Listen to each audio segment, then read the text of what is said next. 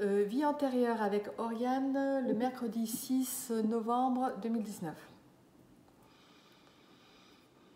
D'accord. Alors, je vois une, une période de vie euh, au 10, 15e, 15e, 16e siècle. Je dirais plutôt 16e siècle. D'accord, hein, euh, Oriane? Oui.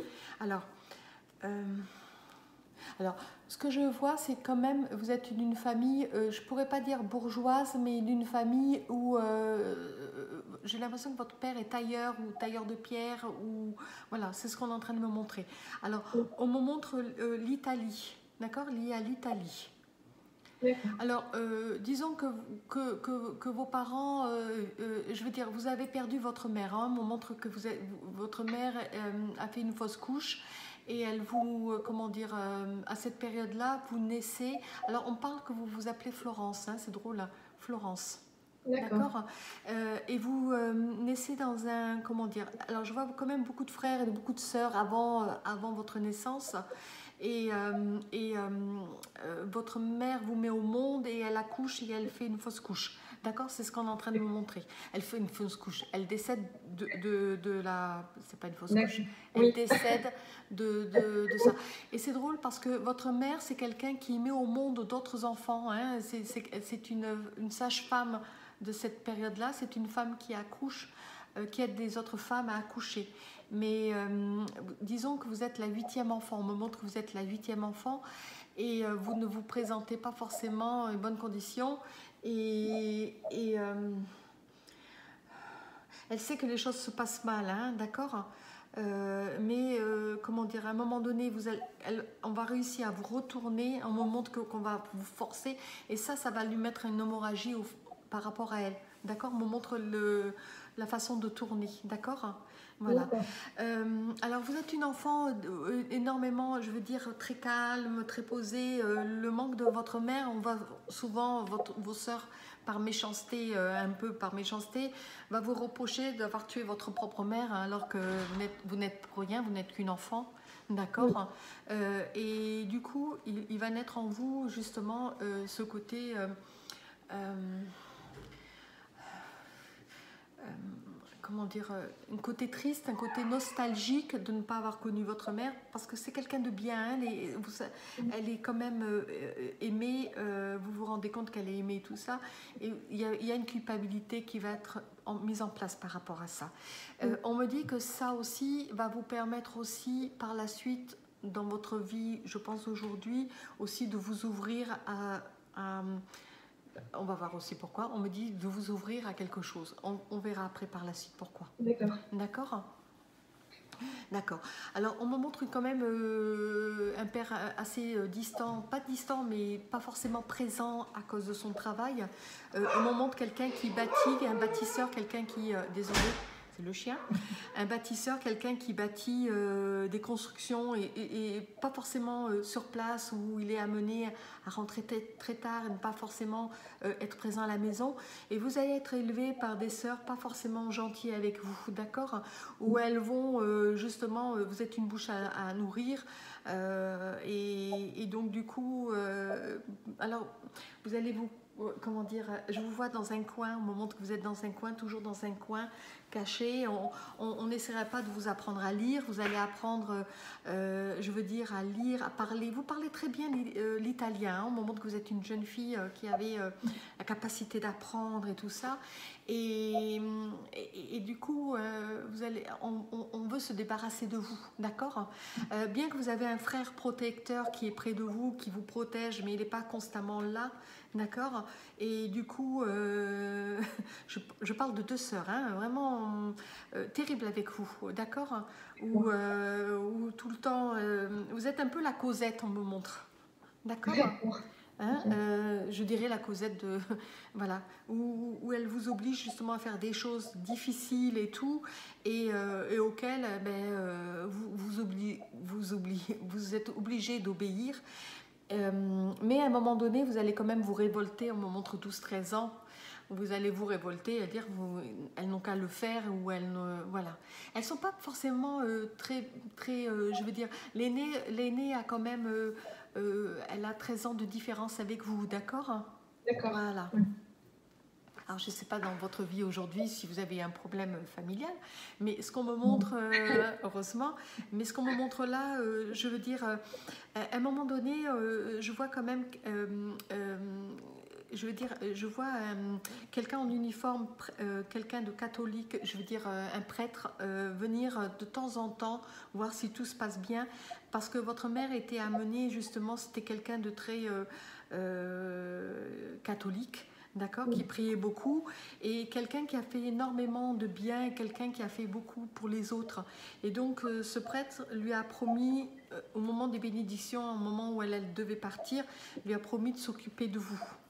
D'accord. Elle savait que, que ça allait être un conflit, euh, euh, je veux dire, vis-à-vis des aînés, euh, parce que en fait, elle a été très aimée des aînés, et du coup, les aînés, bon, pour remporter leur malheur, elles l'ont remporté sur vous, au lieu de vous protéger. Alors, disons que vous et les plus jeunes, vous avez été un peu, comment dire, le souffre-douleur des aînés, des, des deux aînés, d'accord, des deux sœurs aînées D'accord. le souffre-douleur. Après, on me montre un garçon, d'accord hein. Voilà, deux garçons et on me montre des filles. Mais vous avez tout le souffre-douleur de ces deux aînés, en fait. D'accord. Voilà. Votre père n'a jamais vu euh, la situation, hein, elle ne le montrait pas, d'accord mais, les coups- mais souvent, vous receviez des coups parce que vous étiez... euh, euh, vous deviez aider. Alors, on montre un, un père qui se remarie, d'accord? Un père qui se remarie, d'autres enfants euh, qui seront euh, mélangés à vous, et on, vous allez être obligé. on me montre cet évêque, hein, on me montre un prêtre, plutôt un prêtre, va vous prendre sous son aile. hein. On me montre qu'il va, il, il, il va, il sait très bien ce qui se passe, d'accord? Euh, Vous vous confiez souvent à lui, il parle souvent avec vous, vous vous confiez à lui et, et vous lui parlez de votre malheur par rapport à votre sœur. Vous ne comprenez pas pourquoi elles sont si méchantes avec vous. Vous ressemblez beaucoup à votre mère, hein, de- euh, je veux dire. euh, de votre mère euh, à cette période-là, d'accord? Et il, il décide justement de, de vous prendre en main, euh, de vous prendre en main et de s'occuper enfin de vous. On me dit enfin, je vais essayer de comprendre pourquoi on me dit, on me dit enfin. D'accord, j'ai compris pourquoi. D'accord. On est en train de me dire, euh, Florence, que, bon, euh, en fait, vous avez euh, ce nom-là par rapport à la ville de Florence, en Italie. D'accord. D'accord On me montre la ville de Florence. Très bien. Alors, c'est drôle, euh, c'est drôle, non. Il on est en train de me montrer que cet homme va vraiment prendre soin de vous. C'est lui qui va vous prendre sur son aile. C'est lui qui va vous apprendre à lire des choses que vos sœurs auraient pu le faire parce que, euh, je veux dire, euh, elles ont un petit peu de connaissances et c'est lui qui va vous prendre en main en main pour vous apprendre à lire, pour, euh, pour vous éveiller en fait, d'accord? Euh, il, il sera assez rigide hein, sur ça, hein, sur l'éducation, sur, euh, euh, sur le, le droit chemin, sur voilà. Vous êtes un peu une, une enfant un peu sauvage qui est livrée à elle-même, qui a dû être livrée à elle-même, d'accord? Mais cet, homme, cet homme va vraiment prendre soin de vous. C'est lui qui va vous apprendre à lire et tout ça. Alors, ce qu'on me montre, Oriane, à- à cette période-là, vous n'avez pas du tout envie de- de- d'avoir d'enfants, de vous marier ou euh, de quoi que ce soit. D'accord hein Hein, D'accord. C'est pas du tout euh, votre volonté. Euh, D'accord, très bien. D'accord. Alors, euh, on, va souvent parler, se demander pourquoi ce prêtre vous prend en main plus que d'autres. hein. D'accord? Il s'occupe vraiment d'autres enfants aussi. Mais vous, vous aurez ce privilège de dormir chez lui, euh, d'avoir votre propre chambre, d'avoir un- euh, comme une fille en fait. D'accord? On me dit que, d'accord. On me dit que vous êtes sa fille en fait. Ah, d'accord. Ok. D'accord. Et, et- et disons que lui s'occupe d'un couvent et euh, il s'occupe d'un couvent et euh, il est amené à vous emmener dans ce couvent. Et euh, on- on- ces femmes, ces sœurs demandent justement que vous rentrez au couvent, mais vous êtes encore trop jeune. D'accord et, et- et vous faites la, le- d'une certaine façon un vœu de, de- de rentrer dans le couvent par la suite. D'accord D'apporter. Alors, ce- ce- qui est important pour vous, euh, c'est surtout ce qui est dans les soins, l'aide, euh, euh, comment dire, de veiller sur les personnes âgées, de prendre soin d'eux, d'être vraiment dans, dans la compassion de l'autre, euh, parce que vous, vous avez souffert de ça, de votre mère, qu'on vous a reproché que vous aviez tué votre mère, et donc c'est vraiment euh, cette destinée. Vous adorez énormément lire, euh, lire à cette période-là, lire là, euh, connaître l'histoire, euh, vous êtes très intéressé par l'histoire, les, choses, c'est très important pour vous. Et ce côté de pouvoir soigner les autres, en fait, c'est ça. Alors, à l'époque, à cette époque-là, il n'y a pas vraiment de soignants. Pour être soignant, il fallait être, il fallait être sœur. D'accord? Et, c'est ce que vous voulez faire. Alors, ce qu'on est en train de me montrer à l'âge de, de- de 16 ans, voilà, on me montre 16 ans. Euh, euh, il y a un militaire, il y a quelqu'un qui est lié à un militaire euh, qui tombe follement, folle- fou amoureux de vous, mais il n'y aura pas de liaison avec cet homme, d'accord? Le prêtre, vous, disons, il pensera qu'il vous sauve, mais en fait, bien que vous êtes attaché à cet, à cet homme qui, qui vous tourne autour, il est bien plus vieux que vous, hein, au moment de 22 ans. Euh, Quelqu'un de brun, quelqu'un de, qui se positionne vis-à-vis de vous. Et en fait, c'est en allant faire une course, euh, il vous voit euh, traverser la rue d'un endroit à un autre, et il vous regarde en fait. Et c'est à ce moment-là qu'il euh, euh, il- tombe follement amoureux de vous. D'accord? Il, est persuadé que vous serez sa femme. D'accord Malheureusement, votre propre père, qui est, qui est prêtre, interdira justement euh, quoi que ce soit. D'accord? Il est contre. euh, voilà. Euh, il, vous dira que vous avez fait quand même un vœu de devenir sœur et de vous consacrer à votre propre métier. Et donc, vous vous consacrez à votre propre métier tout en ayant une liaison cachée vis-à-vis avec cet homme. Comme si vous n'aviez pas le- la possibilité d'avoir le temps tout constamment avec lui, d'avoir la possibilité d'être constamment avec lui. D'accord? Parce que lui, il est amené à aller ailleurs et vous, vous êtes amené à faire votre travail. Euh, à un moment donné, euh, je veux dire, euh, d'accord, vous ne pourrez pas poursuivre votre propre vie avec lui parce que vous serez enfermé dans ce couvent. D'accord? On viendra se faire soigner, ou vous, bien, voilà. Et il demandera à, à vous revoir et tout, et vous lui, euh, vous lui interdirez parce que, en fait, ce qui est plus important pour vous, c'est de vous, occu- vous occuper. Et vous, c'est un homme qui veut des enfants, et vous ne voudrez pas avoir d'enfants. Vous avez subi justement, le- euh, vous avez été martyrisé par vos sœurs, et du coup, vous lui interdirez euh, de vous donner ou, ou de d'avoir des enfants. Et on me montre une conversation avec lui assez, assez euh, brutale, hein, parce que c'est un homme qui veut garder euh, quand même ses positions et qui sait ce qu'il veut, ce qu'il voilà.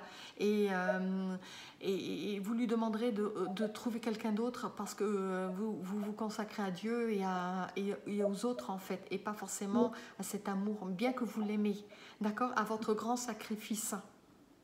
Parce que ou pas? Euh, alors.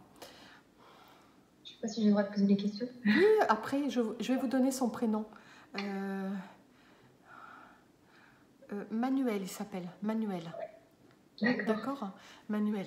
Et euh, oui, Manu- Manuel. Manuel. Manuel, on dit. D'accord Et Manuel ou Emmanuel ou Manuel, il est, c'est quelqu'un qui, comment dire, il, il mourra de ce chagrin de ne, de ne pas avoir pu construire quelque chose avec vous. D'accord Euh. Et, et c'est quelqu'un qui se mariera, on me montre quelqu'un qui aura des enfants auxquels euh, vous, vous serez, mais c'est un peu ces enfants, un peu comme les vôtres, d'accord Euh, Plus tard, on me montre que, que vous connaîtrez ces enfants, vous ne direz jamais que vous avez aimé leur père, hein, D'accord. Euh, on me montre bien une, une de ces filles qui deviendra euh, votre fille, euh, je veux dire, de cœur, celle que vous allez enseigner, parce qu'elle rentrera aussi au couvent. D'accord Voilà. Hein, une, une, une jeune fille. euh, euh, une- alors, euh, d'accord, lui c'est un brun et elle, c'est une, sa femme sera très blonde, aux yeux bleus. D'accord Ça sera un mariage plutôt euh, famille, de famille, d'une cousine qu'on voudra le marier pour garder un peu les choses.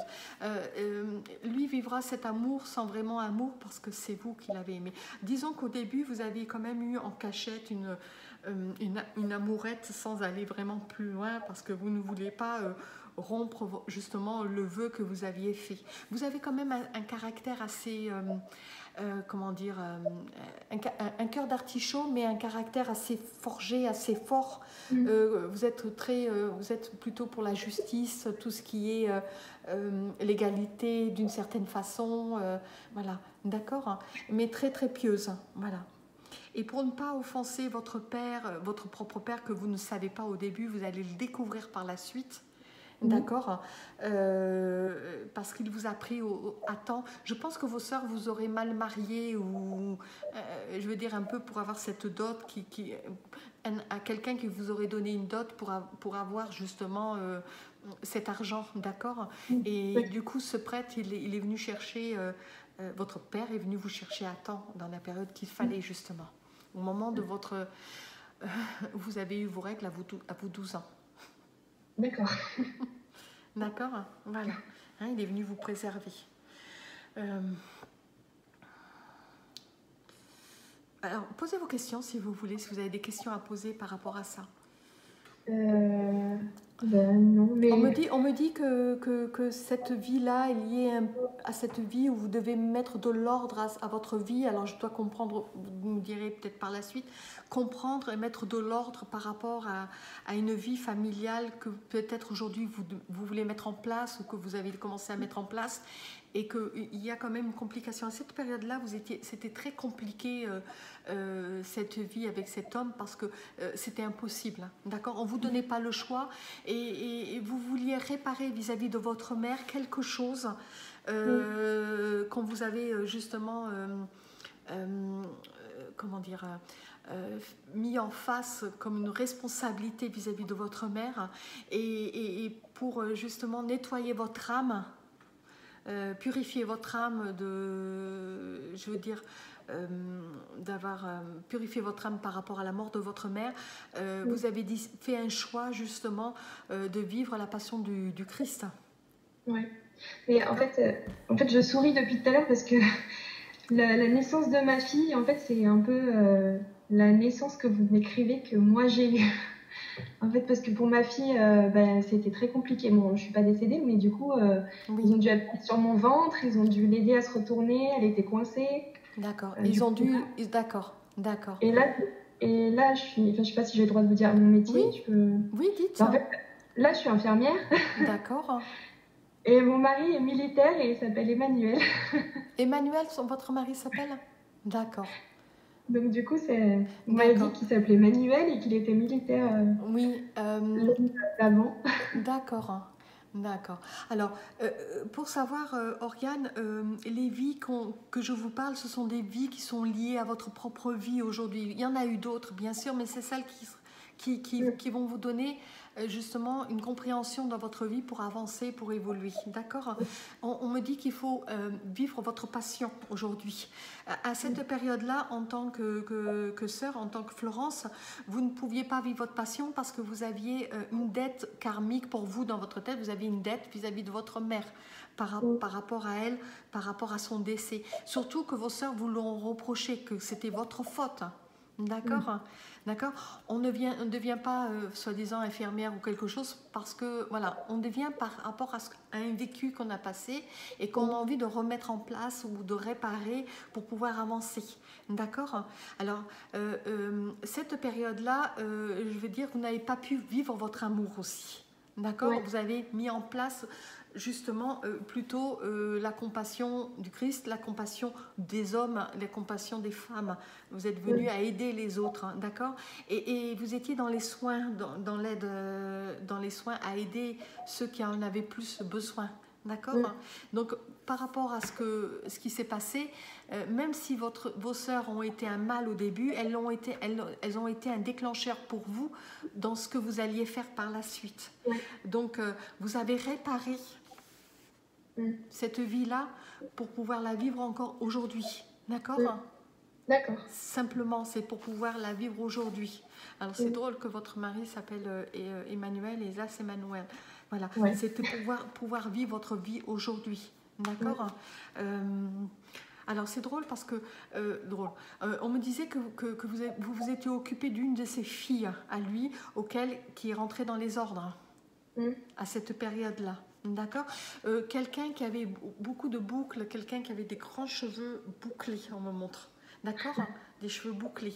Euh, euh, qui tenait de sa mère, parce que sa mère c'était quelqu'un de châtain clair, blonde, je pourrais dire, vénitienne, avec des longs cheveux bouclés. D'accord Et cet enfant, en fait, vous l'avez gardé et, et elle, de- elle est devenue comme vous. C'est quelqu'un qui a soigné les autres aussi. D'accord. Voilà. Euh, son père vous l'a confié parce que pour lui, euh, il avait envie de vous donner quelque chose euh, qu'il n'avait pas pu avoir avec vous. Mais c'était dans sa volonté de cette jeune fille de devenir aussi sœur, de, de rentrer pour soigner les autres. D'accord? C'était, Il l'a pas fait contre son, contre son gré. Il l'a, il quand elle en a parlé, il vous l'a confié. Et c'était aussi une façon de vous voir hein, et de vous déclarer qu'il vous aimait toujours. hein. Mm.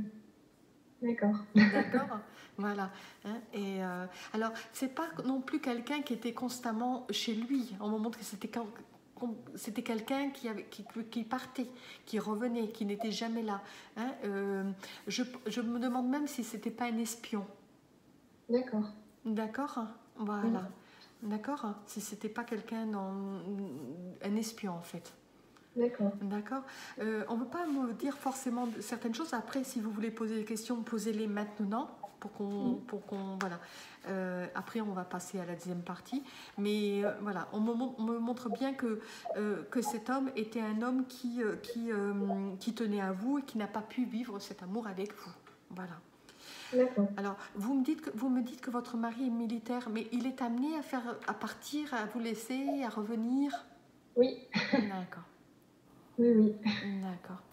Et ma fille a les cheveux bouclés. D'accord. On me dit qu'elle ne les gardera pas Ah, aujourd'hui. D'accord. Euh, elle, elle le garde à l'instant, euh, à ce, ce moment-là, mais elle ne le gardera pas euh, d'ici un an, deux ans, elle ne le gardera plus. C'est simplement pour vous donner une preuve. Mm. D'accord. Elle, elle est, elle a les cheveux dorés, votre fille? Elle est, ch- elle est, elle est claire? Elle est claire châtain, ouais. D'accord. Donc, voilà. Voilà. Donc, cet enfant, elle a été très proche de vous, d'accord? On me dit que c'est une enfant qui a été très proche de vous. Euh, elle, elle vous appelait euh, ma sœur, mais c'est quelqu'un qui était très proche de vous. Disons que vous, dans cette partie-là, euh, alors, on me montre... d'accord. Est-ce que vous voulez bien me dire? D'accord. Euh, on me dit que vous étiez religieuse de Florence, hein, les religieuses de Florence. Et on me dit la Saint-Pierrot, Saint-Piero. Je pense que c'est Saint-Pierre en fait. Mm. Euh, Saint-Piero, euh, Ma- Martini. Saint-Piero Martini. Et ça, c'est quoi? C'est le couvent où vous étiez. D'accord. Saint-Piero Martini ou Ma- Martini ou voilà, il y a quelque chose. Saint- il y a Saint-Pierre, euh, Saint-Pedro en fait de toute façon. Ah, Alors, mais en italien, en italien c'est Saint-Piedri Piedri ou Piedro, Piedro, voilà. Bon. C'est à, c'est à Florence de toute façon. D'accord? On vous a appelé Florence à cause de la ville de Florence, parce que votre mère n'avait pas donné de nom. Elle attendait que vous met- vous mettre au monde, savoir si c'était un garçon ou fille. Pour, voilà. Et on vous a appelé Florence à cause de la ville de Florence. D'accord. D'accord Alors, je ne sais pas si vous aimez Florence, vous êtes déjà allé. Non, je connais pas. Ben, il faudra certainement y aller un jour. Voilà, il y a un lien italien. euh, de toute façon, vous avez des ressemblances italiennes. hein. Pourtant, je suis pas du tout italienne, je parle italien. On va voir un petit peu. Mais euh, voilà. euh, mais il y a une origine italienne, de toute façon. D'accord Voilà. Allez. Vous avez des questions à poser, Oriane ou... Non, je sais pas. on parle- Vous allez parler de la fin de ma vie ou, ou pas Euh, Si vous voulez. Vous voulez qu'on en parle? Euh, Oui. D'accord. Alors, euh, vous allez vivre dans cet endroit, vous allez donc éduquer euh, plusieurs enfants, vous allez vous occuper d'enfants aussi, d'accord, de leur éducation, parce qu'on vous ramène des enfants, donc vous, vous êtes... euh, euh, disons que vous avez un côté enseignante, euh, vous aimez apporter à l'autre, vous gardez rien pour vous, en fait, vous transmettez ce que vous, vos connaissances et ce que vous savez faire. D'accord mais, mais pour vous, c'est surtout euh, euh, l'enseignement dans tout ce qui est euh, les soins, l'aide. les, voilà, c'est surtout ça en fait. D'accord? Et il y a quand même de la lecture. il y a certaines jeunes filles qui, ne, qui n'ont pas une lecture cultivée et tout ça. Et vous allez leur apprendre ce que vous avez appris. Disons que, que votre père est assez, je veux dire votre père prêtre, hein, est votre propre père, père et vos sœurs savent très bien en fait qu'il y a quelque chose qui ne tourne pas rond parce que vous ne leur ressemblez pas non plus. D'accord D'accord. Voilà. Et, et euh, de toute façon, votre mère s'est énormément confiée à ce prêtre et elle en est tombée amoureuse de ce prêtre. D'accord? Alors c'est marrant, il me dit que les oiseaux se cachent pour mourir. Je ne sais pas si votre mère est amoureuse du film. Bon, voilà. voilà. Mais vous lui demanderez. Je ne sais pas quel âge elle a votre maman, mais voilà. quel âge? 70 ans. Elle a peut-être connu les, les, oiseaux se cachent pour mourir. C'est un film euh, qui est sorti en fait. Voilà. voilà. Euh, mais ce qu'on me montre, c'est euh, vous, d'accord. On me montre que vous décéderez assez, assez vieille, hein, d'accord? Hein. voilà. assez vieille à l'époque. On me montre 84 ans à peu près, d'accord? 80, 85, voilà, entre 80 et 85 ans. Voilà. Euh, euh, je pense suite à une épidémie, quelque chose. Voilà, on me montre une mm. épidémie. D'accord? Euh, Vous n'aurez pas la force, on me montre que vous êtes quelqu'un de qui ne mangeait pas beaucoup, qui, qui, qui, préférait donner aux autres. Vous vous nourrissez très peu. Hein. On parle même des fois du pain et de l'eau pour vous nourrir parce que vous préférez apporter aux autres de, de la nourriture, surtout aux enfants. Voilà. voilà. Euh, il y aura quand même une. Euh, on, on, vous pleurera beaucoup. Hein, D'accord Disons que les enfants que vous n'avez pas eus, ce sont tous ces enfants euh, que vous avez mis sous votre aile et ces enfants qui deviendront des jeunes femmes prieront beaucoup pour vous, on me dit. D'accord. Hein vous ne serez pas une sainte, on ne vous, on vous donnera pas le titre de sainte, mais disons que vous avez fait beaucoup pour ces, ces jeunes femmes. D'accord. Allez, on passe à la deuxième partie de votre vie. Alors, on me parle de la Première Guerre mondiale. Mhm. D'accord. Euh, alors, on me parle du nord de la France. D'accord euh, Du nord de la France. Alors, vous êtes quand même une jeune fille qui... Euh, là, vous êtes quand même dans une bonne famille. On me montre beaucoup de frères et de sœurs. Vous êtes neuf enfants, là.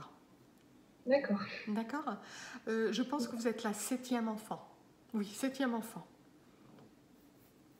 D'accord. Euh, d'accord. Marie quelque chose. On va voir après. Marie quelque chose. On dit, on est en train de me dire Marie, Marie, Marie quelque chose. Marie, Marie. Euh, d'accord. Vous êtes très très intelligente, vous apprenez facilement, vous avez euh, euh, une facilité d'apprendre. Euh, ça, c'est d'un acquis de cette vie-là, de cette vie que vous avez eue en tant qu'avec ce prêtre. Et donc, du coup, ça vous a apporté un acquis dans, cette, dans cette vie. je parlais de la Première Guerre mondiale, d'accord? Avant, Vous êtes né avant la, guerre, de toute façon, d'accord? On, me, on me dit... 1800, 1800 peut-être 79, 1800, entre 1879 et 1882. Voilà. D'accord. 1882, 80, voilà. Euh, à cette période-là, après on parlera de mort parce que vous êtes en train, c'est la question que vous m'avez posée. Mais disons que vous ne vivrez pas assez longtemps comme, euh, comme la première vie que vous avez vécue assez longtemps. D'accord? Au moment que vous êtes une jeune fille, euh, comment dire, très appréciée, très aimée de vos sœurs et de vos frères encore une famille nombreuse, mais là, appréciée de vos frères et vos sœurs. D'accord Vous n'avez pas tué votre mère. Ne vous inquiétez pas, là, euh, tout s'est bien passé. Euh, disons que vos frères et vos sœurs, vous êtes, vous êtes très liés l'une à l'autre, les unes aux autres, mais il y a surtout Germaine qui est très proche de vous, on me dit. C'est une sœur? C'est une sœur. Euh, vous avez un an de différence. D'accord? Alors, je ne sais pas si c'est votre aîné ou si vous, vous êtes plus âgée qu'elle d'un an, mais on me montre une année de différence, à peu près une année. D'accord? Voilà, vous êtes très proche d'elle euh, par rapport aux autres, mais il y a une bonne entente entre vous, d'accord? Vous êtes très protectrice de votre mère, vous protégez énormément votre mère contre votre père. Euh, votre père n'est pas facile, je veux dire, il y a quand même, c'est quand même quelqu'un, euh, je veux dire, de bonne famille, votre mère aussi de bonne famille, d'accord? On montre deux quelque chose, pour, de tous les deux, hein, il y a le, titre de, de quelque chose, de bonne famille, mais votre père a toujours des manques d'argent. Je, pense que votre père joue beaucoup d'argent sur certaines choses et il perd beaucoup d'argent. Et, mais par contre, votre éducation va être très importante. Il va quand même mettre un point d'honneur sur votre éducation. D'accord? L'éducation des autres, mais aussi votre éducation. Disons que vous ne manquerez euh, de rien pour pouvoir faire vos études. C'est ce qu'on est en train de me montrer. Euh, euh, vous êtes quelqu'un de très calme, mais aussi mais quelqu'un qui calme, mais quelqu'un qui, qui n'arrive pas à rester sur place, euh, qui est toujours en train de bouger sur la chaise. Assis-toi bien, reste tranquille, constamment en train de bouger. vous préférez aller, à l'extérieur, courir, marcher, voilà. Vous apprenez, vous avez tellement une facilité d'apprendre que on n'a pas besoin de vous répéter une deuxième fois. Vous avez acquis, c'est bon, c'est fini, c'est réglé. D'accord? D'accord. Euh, disons que vos sœurs se sont, vous ont préparé justement à l'apprentissage de la lecture assez rapidement. Vous êtes une enfant qui apprenait, euh, qui, a, qui, à l'âge de 5 ans, c'est déjà pratiquement connaît déjà, qui sait déjà bien détailler les mots et qui sait, commence déjà la lecture. D'accord. D'accord. Voilà. Euh, il y a aussi les langues que on me dit que vous êtes assez doué aussi au niveau des langues. Vous avez l'oreille pour entendre et euh, c'est quelque chose qui vous fascine aussi au niveau des langues. Vous, vous avez une facilité au niveau des langues et, euh, euh, aussi par rapport à vos sœurs aînées qui vous apprennent aussi. D'accord? Alors on me montre, on me montre l'anglais, on me montre l'allemand, on me montre l'italien aussi, la langue italienne qui est liée aussi à votre vie que vous avez eue à cette période-là. D'accord? Voilà. Oui, l'italien on ne dit pas l'espagnol, l'italien. Une langue latine, c'est important pour vous. Euh, d'accord. Alors, on me dit que vous allez faire vos études euh, chez les sœurs. Vous ferez. chez les D'accord Chez les sœurs. Euh, c'est très, important pour, pour, pour, votre maman. Et on me dit le couvent du Sacré-Cœur. Couvent du Sacré-Cœur euh, je pense à Lille, parce qu'on me montre Lille, on me montre le nord, hein, donc pour, moi c'est Lille. Euh, ou à côté de Lille. Disons que vos parents ne vivent pas à, Lille, euh, ils ne vivront pas à Lille à cette période-là, mais par la suite, par rapport aux enfants, par rapport à leurs études, ils déménageront sur l'île pour vos études, d'accord? Mais pas que vous, hein, aussi Germaine et tout ça. Vous serez avec votre sœur Germaine à l'école. Vous serez en, pensionnat en plus, carrément. On vous met en pensionnat. Allez, vous pouvez les mettre en pensionnat. D'accord? Ça permettra aussi à votre maman de, pouvoir élever, euh, d'être plus en repos et tout ça. D'accord? Votre père trouvera toujours de l'argent euh, pour, pour, pour, payer vos études, de toute façon, que ce soit pour vous, pour vos sœurs ou pour vos frères. Hein, parce que, alors, au moment trois, euh, trois six sœurs, vous serez six sœurs et trois frères. D'accord. D'accord. Disons qu'il y a deux naissances de garçons. Après, il y a cinq filles. Après, il y a un garçon. Et je crois, euh, alors, deux garçons. Une, deux, trois, quatre, cinq. Je compte sur les doigts. Euh, cinq, cinq, filles. Un garçon. Et je pense une fille après. Voilà, c'est ce qu'on est en train de me montrer. Oui. On me dit que oui. On, va, on me dit oui on valide. bon, c'est pas le plus important. D'accord? Euh, On me dit aussi que vous, euh, vous aimerez aller chez votre grand-mère. Votre grand-mère sera quelqu'un qui sera très proche de vous. D'accord euh, Disons que votre maman a un côté très mondaine, mondaine, euh, voilà, elle vous a mis au monde et tout, mais, mais votre grand-mère aura beaucoup plus de temps pour vous et, c'est un endroit que vous aimez parce que c'est un lieu où vous vous retrouvez avec vos cousines. Euh, disons que vous êtes d'une grande famille, hein, de, côté de votre mère, déjà une grande famille, et vous aimez être chez votre grand-mère maternelle. Euh, parce que vous vous retrouvez avec vos cousines, vos, votre famille, et c'est un endroit merveilleux pour vous. Vous aimez vous retrouver avec elle. D'accord On me montre des pots de confiture, on me montre euh, où elle fera préparer des pots de confiture, où vous pourrez manger du pain bien chaud parce que l'internat, euh, c'est bon à un moment donné, mais voilà, euh, elle vous récupère pour justement, vous êtes les week-ends ou les vacances, certaines vacances, où elle vous récupère et vous vous retrouvez avec la famille, et ça c'est très important. Et le lien familial là est très important par rapport à la première vie qu'on a fait ensemble. c'est là que justement ça va vous construire d'accord? Vous êtes assez euh, une enfant quand même qui, euh, euh, qui sait dire non, qui sait dire oui. Je veux dire, vous avez cette capacité. vous n'aimez pas l'injustice, vous n'aimez pas la maltraitance des animaux. disons qu'il y a beaucoup de chats chez vous à cette période-là de votre grand-mère. Elle adore les chats. Et donc, vous prenez soin aussi de, vous aimez justement prendre soin d'eux. Mais je ne dirais pas que vous ferez une carrière d'infirmière, d'accord? On va voir euh, c'est pas du tout euh, ça, d'accord. Alors, euh, vous, vous êtes plutôt quelqu'un qui est, qui est plutôt dans l'enseignement, qui aimait enseigner. On me montre, vous serez amené à, après vos études, vous réussirez votre certificat et à l'âge de 15 ans, 15 ans ou 18 ans non, à 15 ans, vos parents déménageront sur l'île. On me parle de 14-15 ans, ils déménageront sur l'île. Et à vos 18 ans, quand vous aurez votre diplôme, on me montre l'Angleterre, vous partirez en Angleterre. Hein. on me montre l'Angleterre. D'accord? Euh, C'est surtout pour perfectionner votre anglais et aussi euh, euh, pour, pouvoir être, comment dire, enseignante ou, tout ce qui est lié à l'enseignement. D'accord? Alors vous êtes assez brillante, vous travaillez très peu.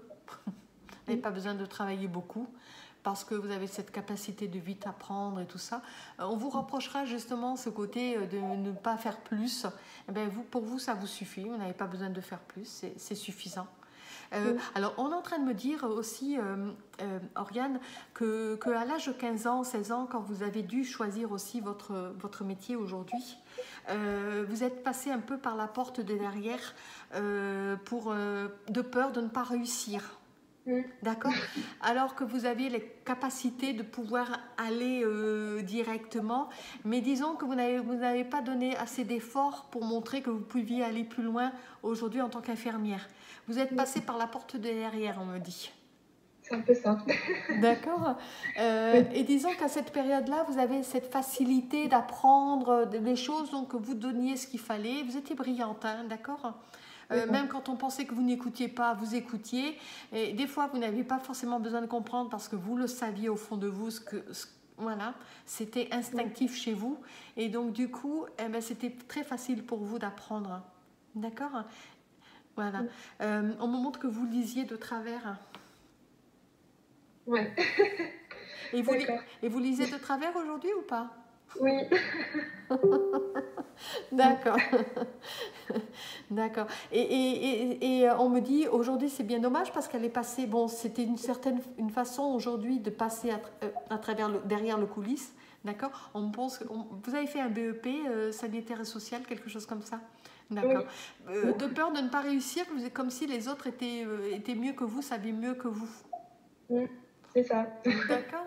Donc vous après, je partir en bac après le BEP. Oui, vous êtes passé en, comment dire, en préparation, on me dit. D'accord, hein, voilà. Ils savent tout sur vous. Hein. C'est parce que cette, vie-là, elle va être aussi indiquée sur votre, sur votre, sur votre livre, hein, d'accord? Oui. Voilà. Et, et donc, euh, allez, on continue.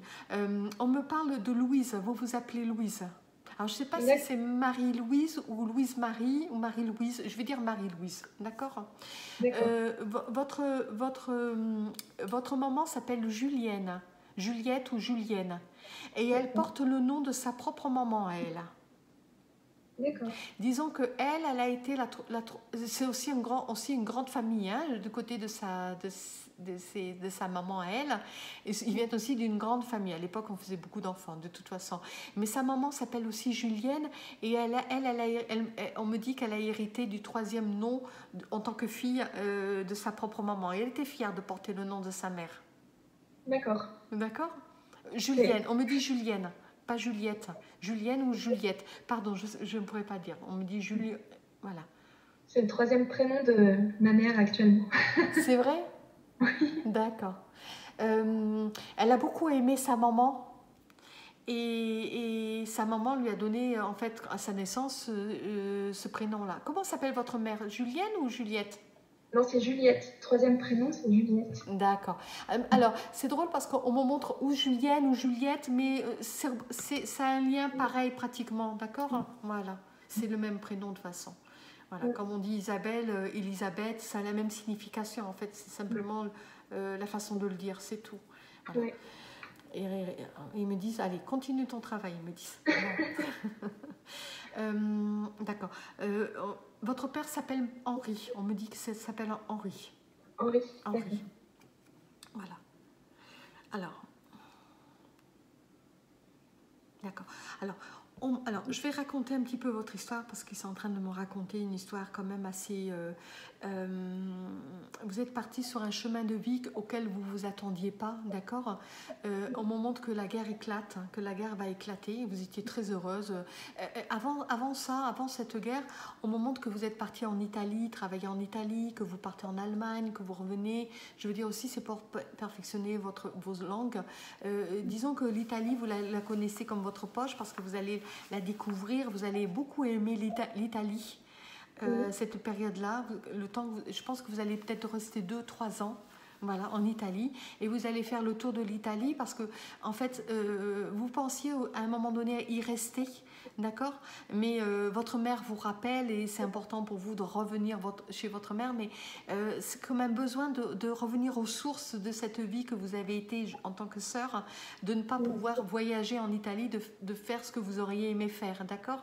Et donc, on me parle que pendant ces deux, trois années, vous allez rester là, justement, et enseigner aussi mais aussi euh, à d'autres enfants. Hein, d'accord, on me parle de gens assez aisés. Vous allez travailler pour une famille aisée où vous allez enseigner à leurs enfants.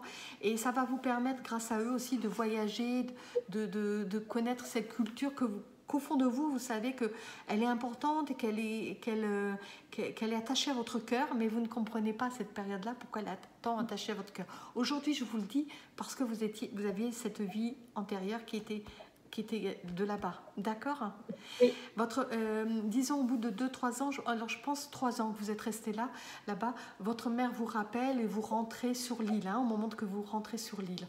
Disons que, euh, euh, alors l'île, vous êtes attaché, vous êtes attaché à l'île parce que quand même vous avez des amis qui ont été à l'école avec vous. Vous avez donc c'est un peu revenir aux sources. On me montre que, alors on me montre aussi l'Allemagne, aussi un endroit où vous êtes allé. Euh, je pense pas l'Allemagne, l'Autriche. Il y a quelque chose avec l'Autriche. On va, on va passer. Hein, et, euh, et, on me parle après euh, le retour donc chez votre, vos parents. D'accord Vous êtes très très proche d'un de vos frères. il y a une, une, relation avec un de vos frères, et avec Germaine, qui est très important. Euh, pour vous. Euh, disons que vous êtes protecteur des uns des autres, hein, vous vous protégez les uns des autres.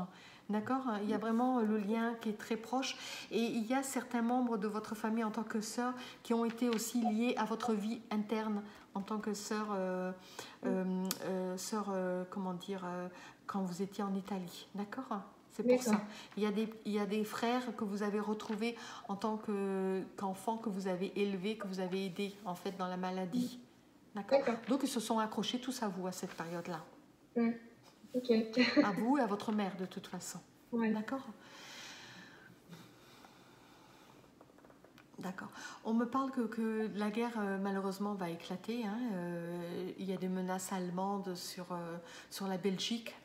Euh, à cette période-là, vous êtes quelqu'un quand même euh, qui ne voulait pas de guerre, qui, voulait pas, qui ne veut pas, surtout pas, euh, je veux dire, de conflit allemand et tout ça. Vous êtes contre tout ça, vous êtes, mais vous allez être quand même impliqué, hein, sans, sans, le vouloir, être impliqué dans ces histoires de guerre, de toute façon. au moment que, que vous serez euh, votre mère vous la mettra en sécurité. Ça sera important pour vous de la mettre en sécurité. Vous êtes quand même quelqu'un qui dirige les choses, comme quelqu'un qui est militaire. Vous voyez, vous avez ce sens du devoir, ce sens de régler les choses. euh, de mettre votre mère en sécurité, c'est important pour vous. Et vous allez, votre père n'est pas du tout euh, dans le contexte comme vous, mais vous allez me demander à votre, justement de mettre votre mère en sécurité et la famille va être en accord justement avec ça.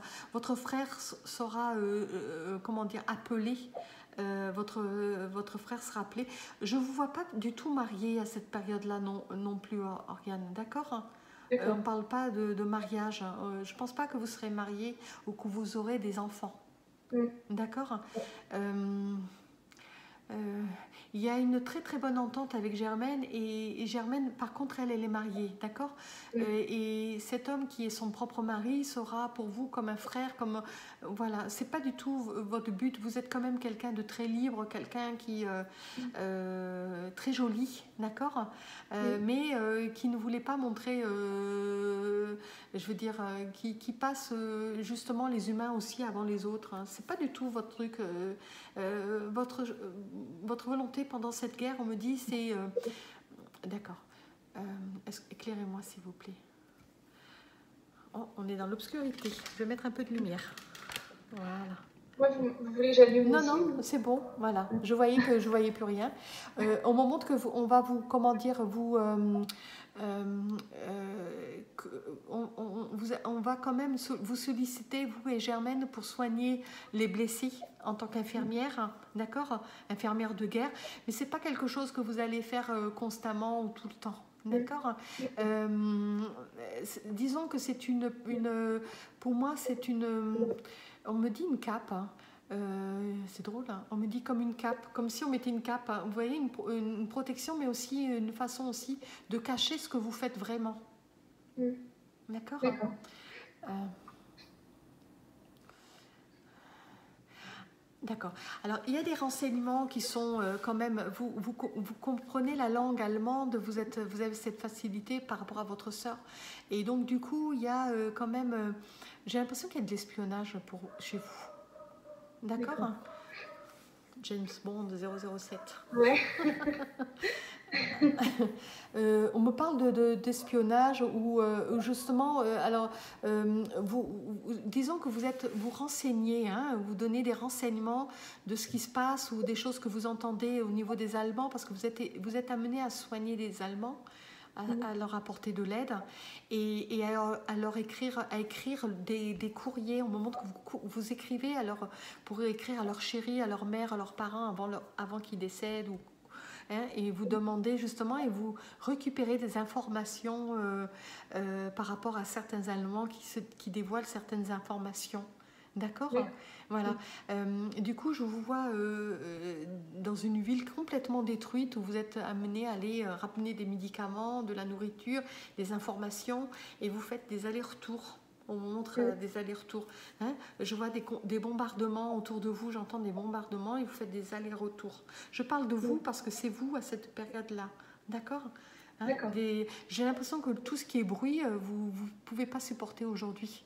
D'accord Voilà, tout ce qui est euh, des foules hein, aussi. Vous ne supportez pas les foules. Ah euh, voilà, vous ne supportez pas les fous, le bruit, euh, les, euh, les, les, tonnerres, tout ce qui est bon, tout ce qui est bruit du tonnerre, vous ne supportez pas.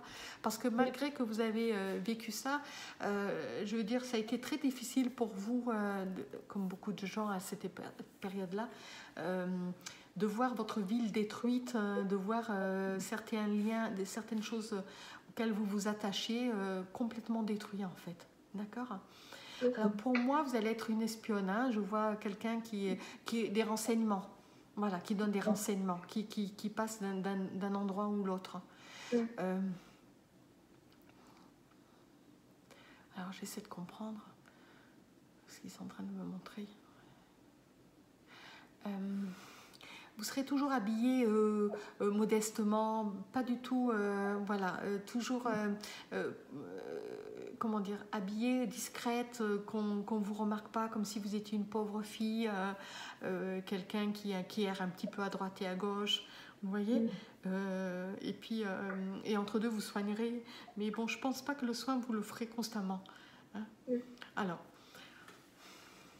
je veux comprendre certaines choses par rapport à ça. D'accord. Oh, très bien. Alors, on, me dit aussi, Oriane, que vous êtes venue aussi pour aider. Toujours l'aide, hein, en fait. Toujours l'aide. Euh, euh, disons que vous avez fait partie euh, des renseignements, je dirais pas généraux, mais des renseignements pour pouvoir aider à, détruire justement des bases allemandes ou aussi pour protéger euh, un massacre qui aurait dû être, avoir lieu et auquel vous avez protégé. Et, c'est drôle parce qu'on me montre les Anglais, je ne sais pas ce que, pourquoi les Anglais sont là, mais on me montre aussi quelque chose lié à l'Angleterre, quelque chose lié, euh, comme si vous donniez des informations aux Anglais qui transmettaient aux Français pour pouvoir euh, justement déjouer les Allemands à cette période-là. je dirais que vous êtes une résistante, d'accord? Vous faites partie du mouvement résistant. D'accord. Hein. Vous allez vous engager sur, ça parce que, euh, je veux dire, votre, votre mère aurait pu mourir là, vous voyez, et donc du coup, vous avez quand même perdu des gens de la famille. D'accord Et des gens que vous avez aimés. Et, disons que euh, malheureusement, je pense que vous mourrez euh, d'une. je veux dire. Alors, expliquez-moi ce qui se passe. Je suis en train de voir votre vie en fait. Hein. C'est comme un film. On, me parle et on me, on me montre votre film. D'accord. Euh, on, est en train de me dire que vous serez, à un moment donné, on vous emprisonnera, hein, serez, euh, on fera une descente euh, dans un café, quelque chose lié dans un café, vous serez avec des amis. Alors, on me parle d'une amie une amie euh, fidèle avec qui, avec qui vous travaillez, qu'elle vous renseigne. Elle ne sait pas forcément ce que vous faites, mais euh, elle, elle, soupçonne. Mais euh, il est préférable qu'elle ne sache pas plus. Et vous lui dites qu'en fait, pour la protéger, il est préférable qu'elle ne vous pose pas trop de questions. D'accord? Et vous n'allez pas forcément vous dévoiler aussi pour ne pas vous faire attraper. On me parle de Léonie. Léonie ou Léona ou Léonie. D'accord? Une amie. Voilà. Euh, il, y a bien, il y a toujours votre sœur qui est présente, hein, d'accord? Voilà. Hein, elle est assez curieuse, elle veut savoir, mais pour la protéger simplement.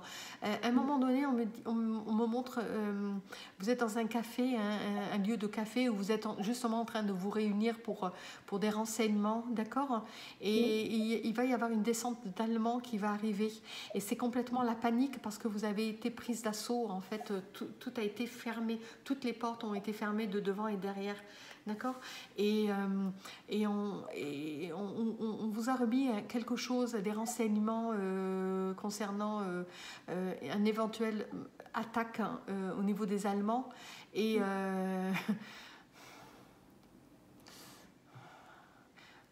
D'accord. Vous ne pouvez pas le jeter. On me montre bien que vous ne pouvez pas jeter ce papier. C'est drôle parce qu'on me montre comme ça. Alors, je vais vous montrer comme un bout de papier qu'on a vous voyez des renseignements, un petit bout de papier, des renseignements comme ça, et qu'on a enveloppé. D'accord? On me montre que vous l'avez caché dans votre euh, soutien-gorge, en fait. D'accord? Euh, Dans votre corset. C'est pas un soutien-gorge, c'est un corset. Euh, vous n'avez pas beaucoup de poitrine, hein, on me dit. un corset, franchement, n'importe quoi. des fois, ils aiment bien blaguer, sourire. mais comment dire ce papier a des renseignements qui peuvent vous mettre justement en péril. D'accord euh, et vous ne savez pas quoi faire et une de vos amies, on va lui demander de se déshabiller. Euh, certaines de vos amies, on va leur demander de se déshabiller complètement, de laisser leur corset. On va les fouiller au corps. D'accord? Et on va vous demander, on va commencer par vous, vous ne savez pas quoi faire, vous allez vous retourner euh, et quelqu'un va vous voir, vous retourner, vous allez on dit le manger ce papier. Carrément le le, manger. D'accord? On me montre que vous allez faire et vous allez essayer de manger le papier. On va vous voir, hein quelqu'un va vous dénoncer. Oh, ils n'ont ils ont, ils ont pas de pitié, hein ça, ça, crie énormément dans cet endroit. Hein. On me montre que ça crie, ça, euh, ça rouspète. Il y a des gens qui veulent s'évader, qui veulent fuir, d'accord? Euh, Vous, vous êtes complètement piégé au plein milieu de, de, la scène. Hein. Euh, on va vous demander de recracher ce papier, mais euh, vous l'aurez mangé de toute façon, il n'y aura aucun renseignement, vous l'aurez complètement, euh, complètement euh, avalé. voilà. on va vous faire vomir, hein, au moment qu'on va essayer de vous le faire vomir et tout, mais bon, ça sert à rien. toute l'encre qui était dessus est complètement d'éteindre, d'accord? On va vous faire vomir, on va vous obliger. Et du coup, on va vous taper. On montre comme si on vous donnait un coup au niveau de la poitrine. D'accord Quelque chose tellement fort, vous n'avez jamais subi une telle douleur que... Alors, je ne sais pas si vous avez souvent des douleurs de cœur ou des palpitations au niveau du cœur. Vous voyez, comme une prise d'angoisse, euh, que vous n'arrivez pas à respirer. Vous avez ça? C'est lié à cette période-là. D'accord Une période d'angoisse. Tout, tout, le temps, euh, cette période où ça, ça, vous prend là, à ce niveau-là. Hein et on me parle que c'est lié à un coup de crosse ou un coup de, de, de crosse. Un soldat vous a complètement donné un, coup, un Allemand vous a donné complètement un coup, d'accord? Et du coup, ça vous a complètement, euh, euh, euh, comment dire, esquinté la, la cage thoracique, thoracique. Vous allez être emprisonné avec condamnation, d'accord? Euh, Condamnation à mort, on, me dit. D'accord? Voilà. Vous avez très peur de mourir de dans la souffrance? Euh, Moi? Mmh. euh, Actuellement? Bah oui, bon, comme tout le monde, je pense. voilà. On me dit aussi, euh, Oriane, euh, qu'à cette période-là, euh, on va on va pas vous tuer parce qu'on va essayer de vous esturper des, des, messages et tout ça. Vous allez, vous allez quand même travailler. On va vous mettre au travail forcé. D'accord Parce que quand même, euh, on, on, pense qu'on peut euh, échanger des informations, ou vous échanger, ou, ou voilà. Donc on ne vous tuera pas en fait. D'accord Vous parlez très bien allemand. Donc euh, voilà, de, de ce côté-là, euh, on ne vous tuera pas. On vous, euh, et, même, et même on dit que dans ce camp de concentration, dans cette prison, on me montre une prison, euh, vous, vous mettrez toujours les gens en révolte de toute façon. Vous serez complètement une révolutionnaire en fait. D'accord Voilà. À, à, à, euh, disons que vous n'avez pas peur. Hein. À cette période-là, vous êtes quelqu'un qui n'avait pas peur, euh, euh, qui est prête à mourir, euh, je veux dire, pour, pour votre pays, qui est prête à, sacrifier votre vie pour le, votre pays. De toute façon, là où vous en êtes, vous savez que jamais ils ne vous laisseront libre. D'accord Donc, autant mourir, ben, mourir bien. Disons que vous êtes une compatriote acharnée. D'accord euh, Et puis en plus, tr très catholique aussi. Oui, oui, allez-y. Et en, et en, plus de ça, très catholique, d'accord? Vos parents étaient très catholiques aussi. Donc très catholique, très... Euh, voilà. Euh,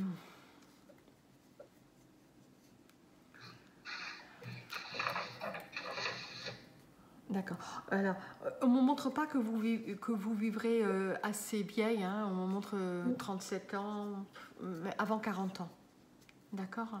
D'accord. Voilà. Et, et, disons que vous allez mourir de froid, de faim, euh, de faiblesse. euh, encore, vous voyez?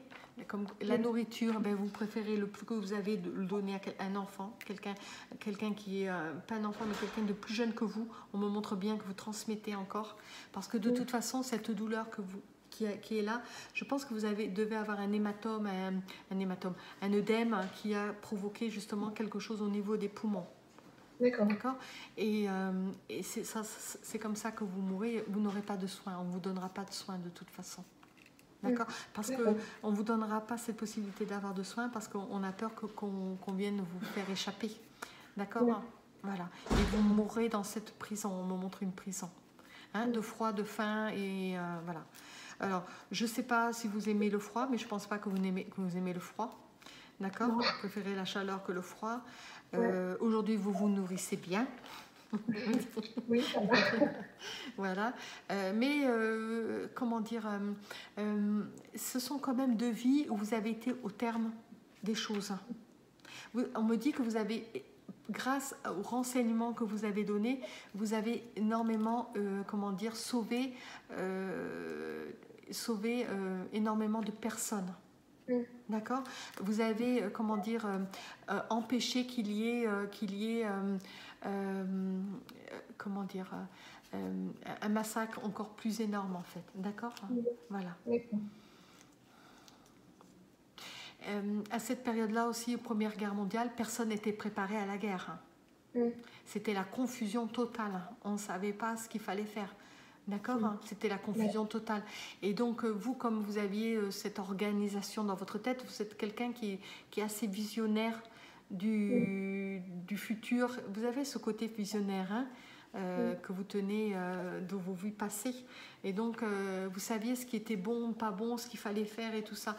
Et, et, et à cette période-là, les gens ne savaient pas quoi faire, comment, comment justement affronter ces Allemands qui étaient prêts justement à, à mettre la main sur, sur certains pays comme la Belgique, la France. l'Angleterre, je veux dire, même, même l'Italie et tout ça. Donc, donc, mais vous voyez, je pense que vous auriez dû venir en tant qu'homme et non en tant que femme. D'accord. Mais si vous avez choisi en tant que femme, c'était qu'il y avait plus une facilité pour votre mission de vie que pour un homme. D'accord? Voilà. Voilà.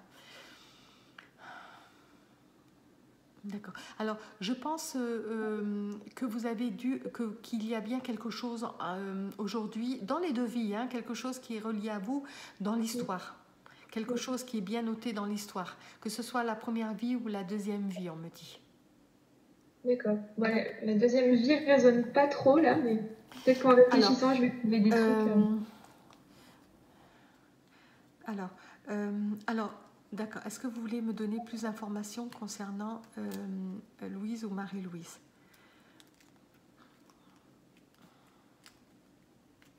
D'accord. Alors, on me dit euh, euh,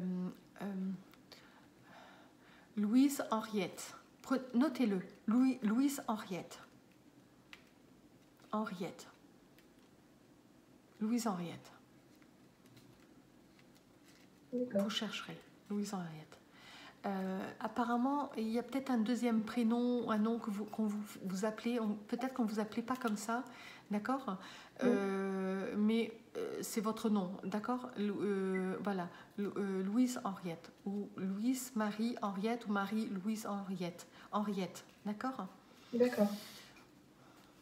Henriette, oui, Henriette. Mais je pense que vous deviez avoir un autre nom, d'accord? Un autre nom, comment dire, de passe-passe, on me dit.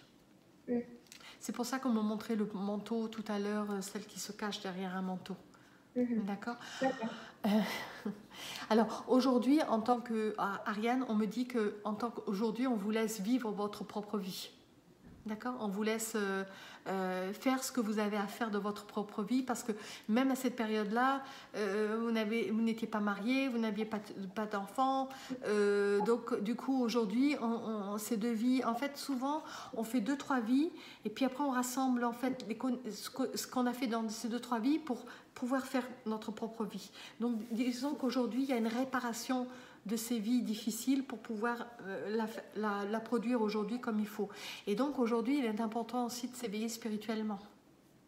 On est dans une, dans une période de, de spirituelle où on doit s'ouvrir spirituellement. Mm. On doit se reconnecter à la source. C'est pour ça que euh, vous, dans les vies que je, vois hein, par rapport aux autres vies que je fais et tout, je remarque qu'aujourd'hui, euh, tout est en train de se rassembler pour pouvoir euh, aller dans un but parce que nous sommes dans un siècle qui est très important par rapport à, notre, à notre passage après de l'autre côté pour autre chose. Hein. D'accord. D'accord? Disons qu'on est en train de lâcher toutes ces vies anciennes pour, pour faire quelque chose aujourd'hui, euh, plus conscience et, et, dans le cœur en fait. D'accord Et ce qu'on ne vous a pas donné dans, votre première vie, ce qu'on vous n'avez pas eu malheureusement dans cette deuxième vie, parce qu'il est arrivé une guerre, hein, d'accord C'est aussi pour, euh, vous voyez, lié toujours aux soldats. Oui. Oui. D'accord Même si vous n'étiez pas soldat, vous avez contribué en tant que soldat, d'une certaine façon, en tant que femme, à une résistance, à votre manière.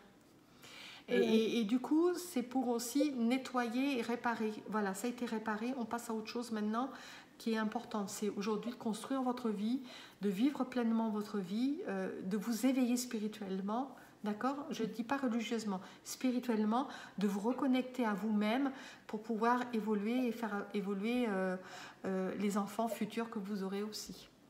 D'accord. Ok. D'accord? Voilà, parce qu'on ne me montre pas une seule, un seul enfant pour vous. D'accord. pourtant, euh, j'ai eu du mal à la voir. Oui, peut-être vous avez du mal à la voir, mais des fois la reconnexion permet justement de passer à autre chose. Mm. D'accord. D'accord Oui. Puis elle est toute jeune, on me dit, encore. Oui, oui, oui. D'accord, voilà. Voilà, Oriane. Ben, merci beaucoup. Ben, merci à vous. Voilà, merci d'avoir participé à votre propre vie euh, de vie euh, antérieure. Voilà.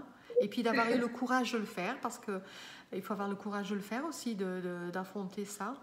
Alors, ce qui est important, c'est savoir que ce sont vos vies antérieures, qu'il y a peut-être un impact aujourd'hui dans le meilleur. D'accord On va Votre vie aujourd'hui est pour aller chercher le meilleur.